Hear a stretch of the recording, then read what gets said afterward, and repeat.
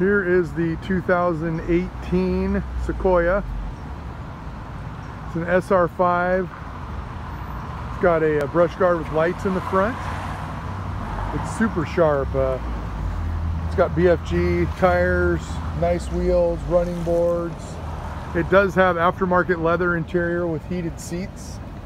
And it's, it's in really, really, really good condition. It's white, uh, super nice. We got it parked right out front you can see it when you drive by. But uh, yeah, this is Ted Rippee, Gresham Toyota, your gateway to adventure.